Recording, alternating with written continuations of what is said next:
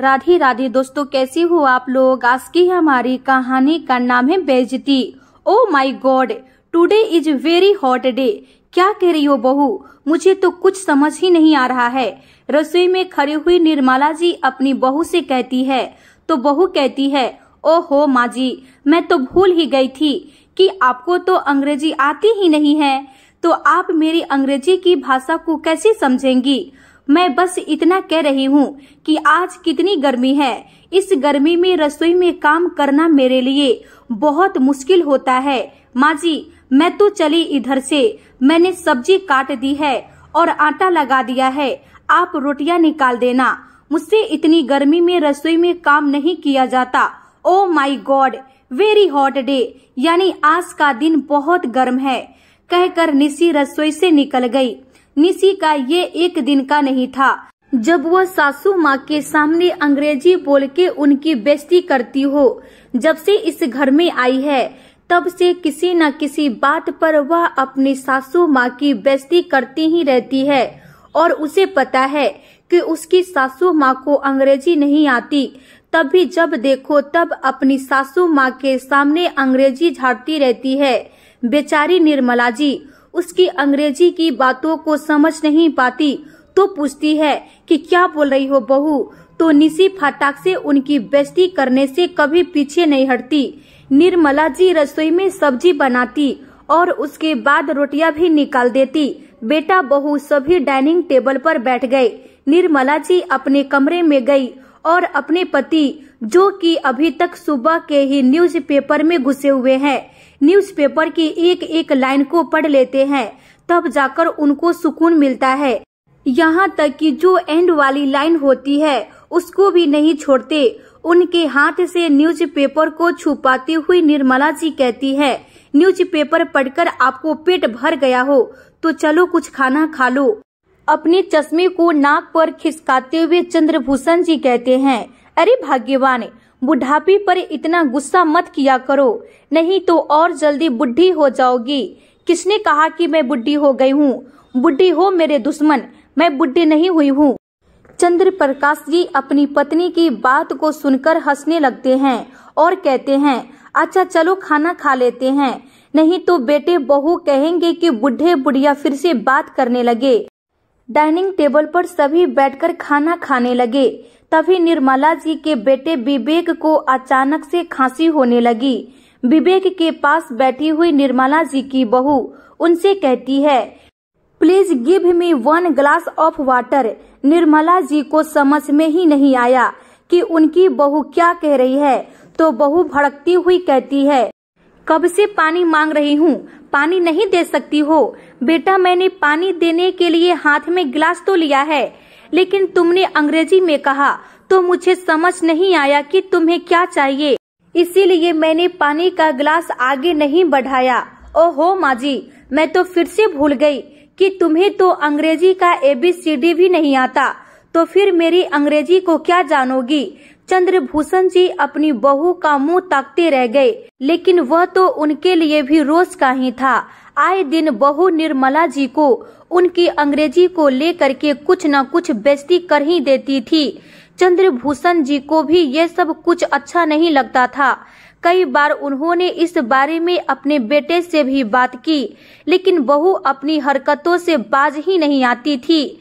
उसे अपनी पढ़ाई का बहुत ज़्यादा घमंड था कि मैं आज के जमाने की बहुत ही पढ़ी लिखी लड़की हूँ।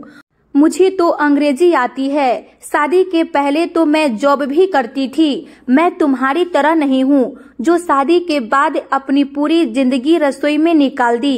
कभी कभी निर्मला जी अपनी बहू की बात का जवाब भी दे दिया करती थी, लेकिन फिर भी बहू को कुछ समझ ही नहीं आता था।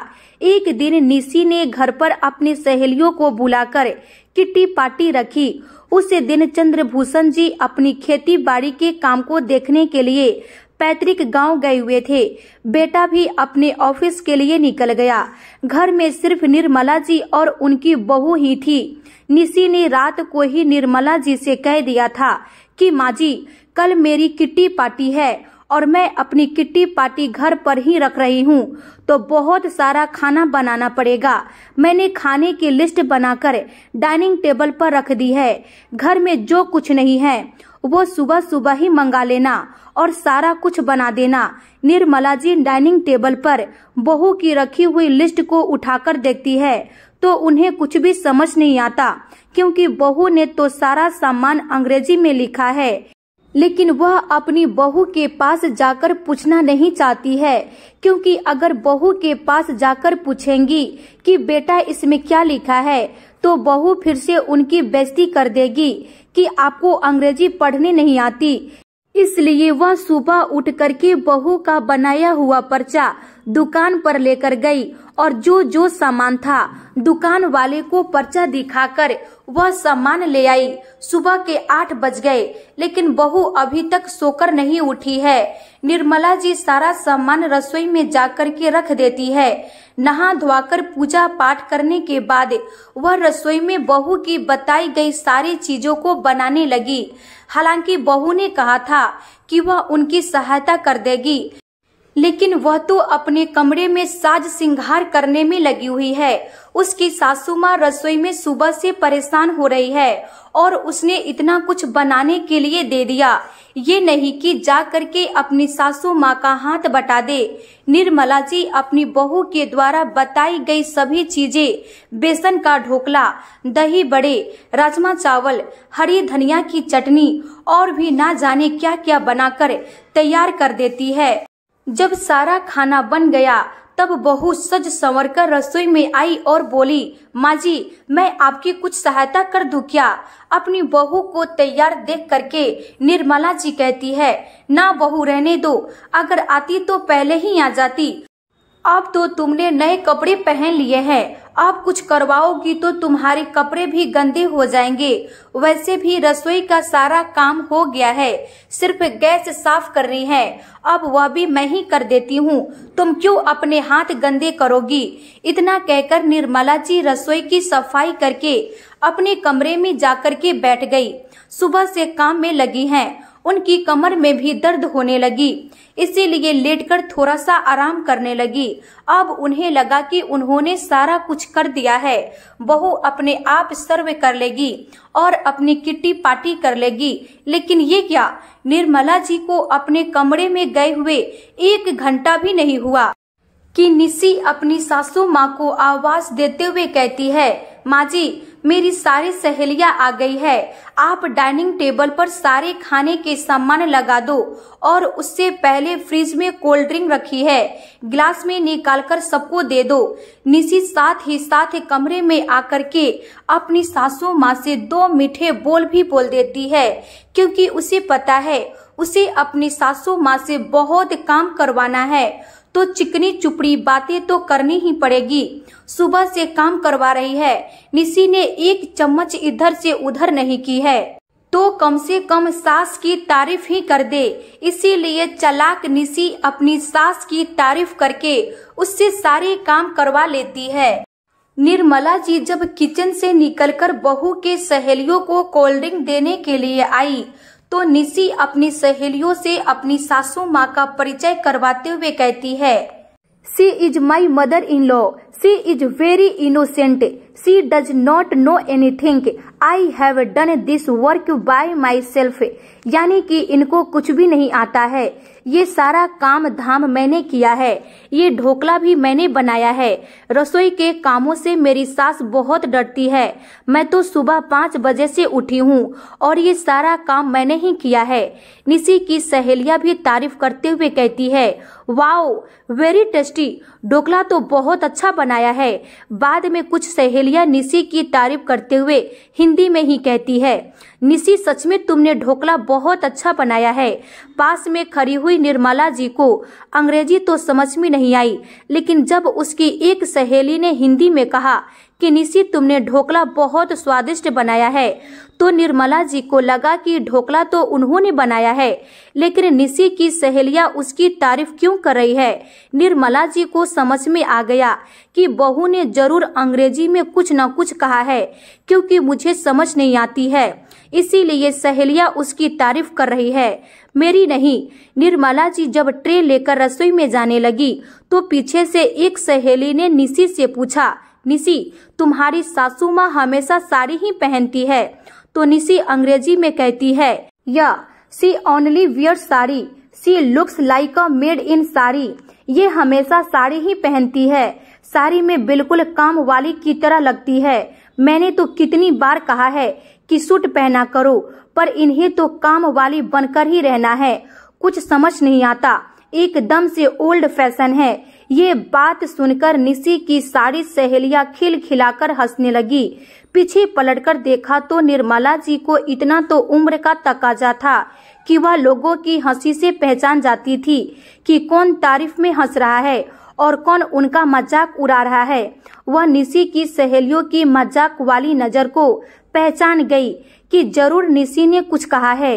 इसीलिए उनकी सहेलियाँ उनका मज़ाक बना रही है। निर्मला जी को ये बात बहुत बुरी लगी। रात भर यही सोचती रही कि ऐसा क्या करे जिससे बहू बात बात पर उनकी बेइज्जती ना करे। क्योंकि अब उनसे ये बेइज्जती बर्दाश्त नहीं होती। वह अपने आप को कोसने लगती है कि उन्होंने अंग्रेज़ी क्यों नहीं पढ़ी? उन्हें अंग्रेज़ी क्यों नहीं आती? आज अगर उन्हें अंग्रेज़ी आती होती तो वह भी अपनी बहू के साथ अंग्रेज़ी में बात करती और बहू उनको अनपढ़ गंवार नहीं कहती। हालाँकि निर्मला जी अनपढ़ नहीं है। उन्होंने अपने समय पर होम साइंस में बीए किया है। उस समय लड़कियों के लिए यही सब्जेक्ट होते थे। लड़कों के लिए गणित और साइंस रखे जाते थे और लड़कियों को गृह विज्ञान और सामाजिक विज्ञान दिलाई जाती थी। लड़कियों की शिक्षा पर इतना ध्यान भी नहीं दिया जाता था और न ही उनसे पूछा जाता था कि तुम्हें कौन सा विषय पसंद है। घर का मुखिया फर्म भरते समय लड़कियों के लिए हमेशा गृह विज्ञान और सामाजिक विज्ञान के विषय ही भरता था। यहाँ तक कि उसकी माँ को भी पता नहीं होता था कि उसकी बेटी ने कौन से विषय लिए हैं। तो इसमें निर्मला जी की कोई गलती ही नहीं है कि उन्हें अंग्रेज़ी नहीं आती। जैसे तैसे एक दिन गुजर गया। दूसरे दिन निर्मला जी के पति आए, लेकिन निर्मला जी रात भर सोई नहीं। उन्हें अपनी बहू की सहेलियों की वह कटु हँसी बराबर याद आती रही, जिसकी वजह से रात भर उन्हें ठीक से नींद नहीं आई। चंद्रभूषण जी अपनी पत्नी के चेहरे को देखकर कहते हैं, क्या हुआ निर्मला? आज तुम बड़ी उदास लग रही हो? कोई बात है क्या? निर्मला जी कहती हैं कोई बात नहीं है जी। लेकिन चंद्रभूषण जी बहुत अच्छी तरीके से जानते हैं कि उनकी पत्नी ऐसे ही उदास नहीं होती। कोई न कोई वजह तो होगी। वह एक दो बार अपनी पत्नी से पूछने की भी कोशिश करते हैं, लेकिन वह टाल देती है। फिर शाम को चंद्रभूषण जी रोज ही शाम को मंदिर जाते हैं और अपनी पत्नी को भी ले जाते हैं। चंद्रभूषण जी ने अपनी पत्नी से मंदिर चलने के लिए कहा। तो उन्होंने आनाकानी की, लेकिन चंद्रभूषण जी उन्हें जिद करके मंदिर ले गए। मंदिर में आरती और पूजा होने के बाद सीढ़ियों पर बैठ गए और अपनी पत्नी से पूछा, सच सच बताओ निर्मला, क्या बात है? जब से मैं आया हूँ, तब से देख रहा हूँ, तुम बहुत ही उदास हो। कोई बात तुम्हें अंदर ही अंदर बहुत दुखी कर रही है। अगर कोई बात है तो मुझे बताओ। मेरे पास कोई निवारण होगा तो मैं अवश्य करवाऊँगा। पति की बात को सुन करके निर्मला जी कुछ कहने की हिम्मत जुटा पाती हैं और कहती हैं, मुझे अंग्रेज़ी सीखनी है। कल निशी की किट्टी पार्टी थी, उसकी सारी सहेलियाँ आई थी तो सबके सामने निर्मला जी ने इतना ही कहा। लेकिन चंद्रभूषण जी सब कुछ समझ गए कि कल बहू ने ज़रूर मेरी पत्नी के ऊपर अपनी अंग्रेज़ी झाड़ी होगी और कुछ न कुछ ऐसा कहा होगा, जिसकी वजह से उसे बुरा लगा है। अपनी पत्नी के अंग्रेज़ी सीखने वाली बात को उन्होंने सकारात्मक लिया और कहा, अरे वाह निर्मला, तुम अंग्रेज़ी सीखना चाहती हो। ये तो बहुत अच्छी बात है। चलो आज ही हम तुम्हारे लिए अंग्रेज़ी की किसी ट्यूशन का पता करते हैं।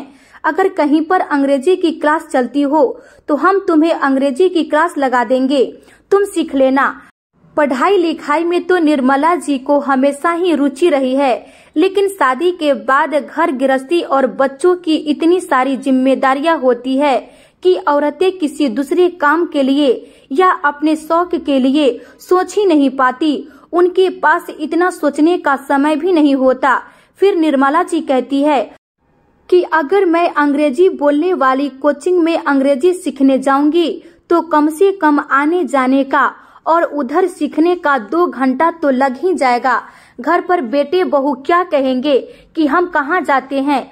अगर कहेंगे कि अंग्रेज़ी सीखने जाते हैं तो बहू हँसी उड़ाएगी कि इस उम्र में तुम अंग्रेज़ी सीख रही हो। मैं बहू को नहीं बताना चाहती हूँ। तुम इसकी चिंता मत करो निर्मला।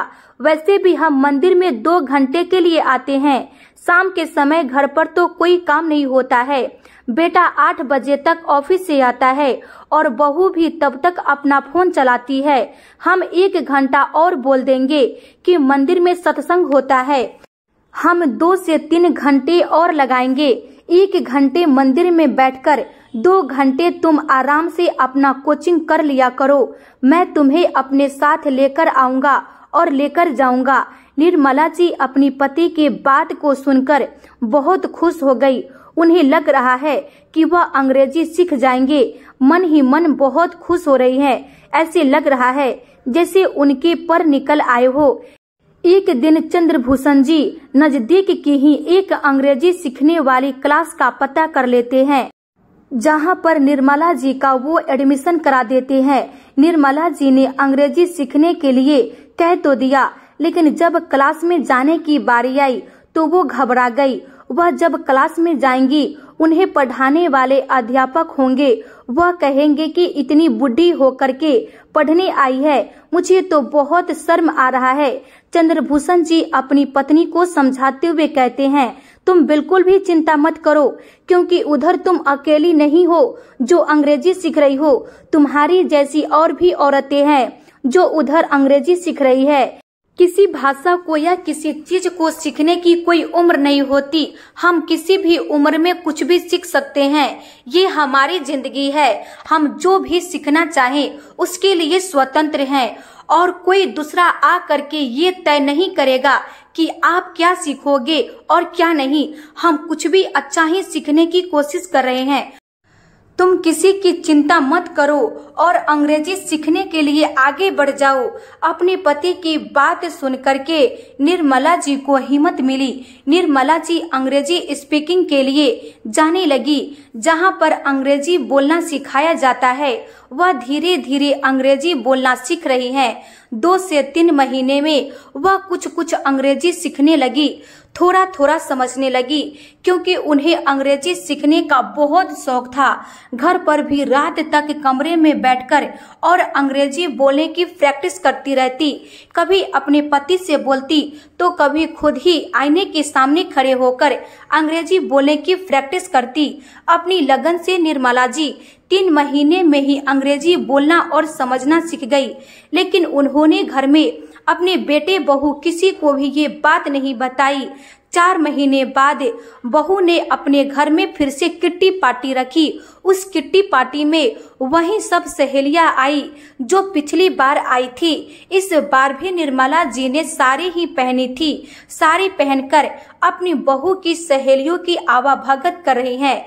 पिछली बार की तरह निशी ने इस बार भी सारा खाना अपनी सासू माँ से बनवाया और उसका सारा क्रेडिट अंग्रेज़ी बोलकर खुद पर ले लिया।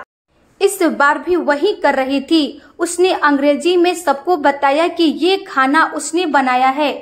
लेकिन पास में ही खड़े निर्मला जी उसकी सारी अंग्रेज़ी समझ गई और उसकी बात को काटते हुए बोली, no no Nishi did not made this food. I made this बल्कि मैंने बनाया है। लास्ट टाइम में भी मैंने ही बनाया था। अपनी सासू माँ की अंग्रेज़ी सुन करके निशी और उसकी सारी सहेलियाँ निर्मला जी को हक्की बक्की देखती रह गई। उसकी सासू माँ अंग्रेज़ी बोल रही है। उसकी सारी अंग्रेज़ी की बातों को समझ रही है। निशी के पैरों के नीचे ज़मीन खिसक गई। माँ जी आपको अंग्रेज़ी आती थी, फिर आपने अभी तक क्यों नहीं बताया मुझे? मुझे तो लगा कि आपको अंग्रेज़ी की ए बी सी डी भी नहीं आती। निर्मला जी कहती है, ज़रूरी नहीं कि हर चीज़ का बखान ही किया जाए। मैं तुम्हारी तरह नहीं हूँ निशी जो अपने किसी गुण से किसी दूसरे को नीचा दिखाए। अगर कोई व्यक्ति अपने गुण से किसी दूसरे को नीचा दिखा रहा है तो मेरी नज़र में वह उसका गुण नहीं। बल्कि अवगुण है। इसीलिए बेटा, आज से किसी को कम आंकने का काम मत करना। कोई किसी से कम नहीं है आज के जमाने में। इतना कहकर निर्मला जी अपने कमरे में आ गई। सारी सहेलियों के जाने के बाद निशी अपनी सासू माँ के कमरे में आई। उसके पेट में तो खलबली मच रही थी कि कब वह पूछे कि उसकी सासू माँ ने, आखिरकार अंग्रेज़ी सीखी कब है? निर्मला जी अपनी बहू को अंग्रेज़ी सीखने की सारी कहानी बता देती हैं, जिसको सुनकर निशी चौंक गई कि साठ वर्ष की उम्र में भी उसकी सासू माँ ने अंग्रेज़ी बोलना और समझना सीख लिया। निशी ने मन ही मन सोच लिया कि अब वह अपनी सासू माँ से कभी ज़िंदगी में पंगे नहीं लेगी। क्योंकि आज निर्मला जी ने अपनी बहू के बार बार अपमान करने पर अंग्रेज़ी सीख करके एक झन्नटेदार थप्पड़ मारा है, जिसकी कसक उसके दिलो दिमाग में हमेशा रहेगी पर दिखेगी नहीं। आशा करती हूँ दोस्तों, ये कहानी आप लोगों को अच्छी लगी हो तो प्लीज़ वीडियो को लाइक शेयर सब्सक्राइब कीजिएगा और इस कहानी पे आप लोगों की क्या राय हमें कमेंट करके ज़रूर बताइएगा। धन्यवाद।